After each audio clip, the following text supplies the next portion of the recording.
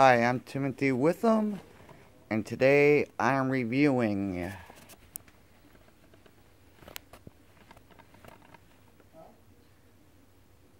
Dead Rising Watchtower.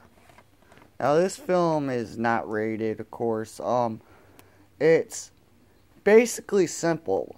It's about a group of survivors. Um what ends up starting it all for this film is when the government decides what better way to gain control by causing a zombie outbreak. Um, the virus supposedly started several years ago, according to the movie, and you have basically this organization that creates Zombrex, is what the the virus, the cure is called. Government decides that they want to start keeping track of all the people that are taking Zombrex. And they decide, you know, let's, you know, cause a problem with the the virus. I mean, let's cause a problem with the cure, which is Zombrex.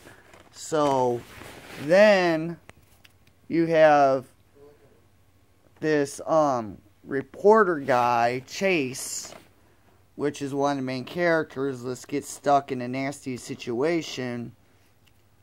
The army, you know, causes total chaos by messing with the Zombrex cure and making sure it doesn't work. So that way they could put a chip where they can monitor everybody in the world. That's the basic thing. They want control.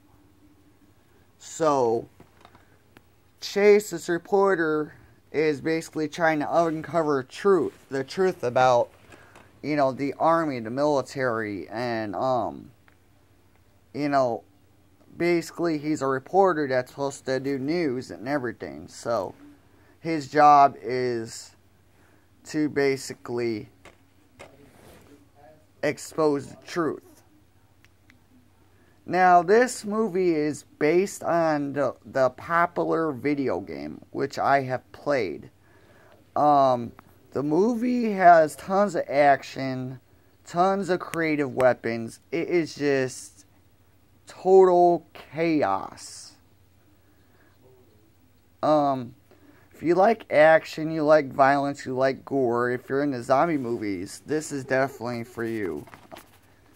Um, I would give it a four out of five star rating. Um, the that's I like the characters, I like the action, but there's a couple things which totally got a little ridiculous with the film. Um, you know, the they they got this. I don't know who the hell this dude is. I don't know if you can see him or not.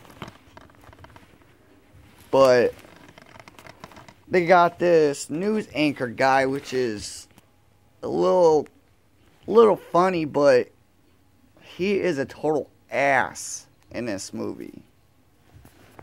Um, I did not like that the guy on the news thing as far as the movie goes. Um, I don't know. But this is my review um, on this movie, Dead Rising Watchtower. If you're into zombie movies, I would check it out.